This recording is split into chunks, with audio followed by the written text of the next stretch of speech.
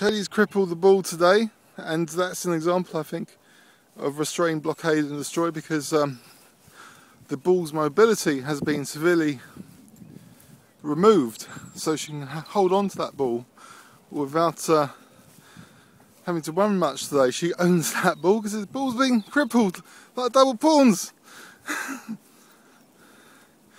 so using Nimzovich finally, just crippling that ball's mobility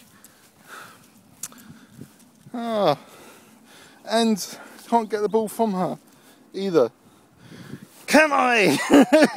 no, I can't. Uh, I can't get the ball from her. She's got full possession. Full possession. I'm going to get the ball from you, Kaylie. I'm going to get the ball. right, this is it. This is it. I can get the ball from you. I'm going to get it. Okay. Okay. Ready?